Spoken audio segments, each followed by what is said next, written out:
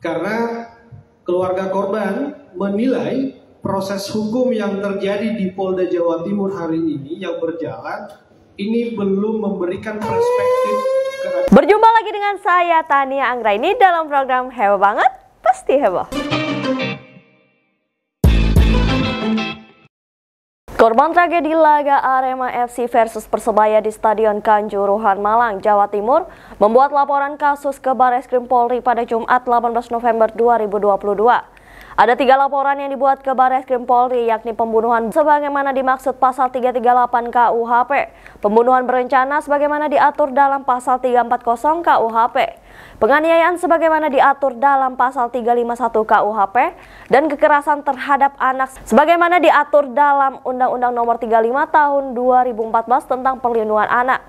Tim hukum gabungan Aremania Ahmad Agus Muin mengatakan pihaknya melaporkan tragedi Kanjuruhan sebagai kasus pembunuhan berencana ke Baris Krim karena sejumlah alasan. Di antaranya bahwa hasil pemeriksaan tim gabungan independen pencari fakta atau TGIPF kepada Kapolres Malang yang isinya Kapolres menyatakan tidak ada penggunaan gas air mata.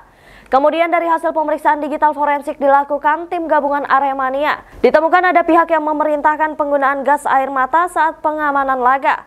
Disampaikan kepada penyelidik Barreskrim Polri saat para korban membuat laporan kasus tragedi Stadion Kanjuruhan sebagai pembunuhan berencana.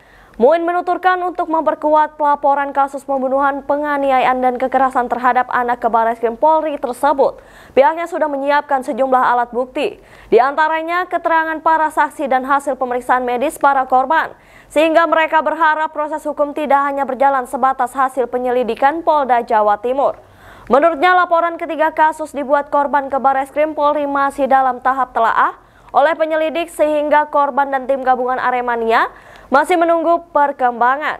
Demikian informasi kita kali ini. Jangan lupa terus saksikan program terupdate Banjarmasin Post dan jangan lupa follow dan subscribe Instagram, Facebook, dan YouTube Banjarmasin Post News Video.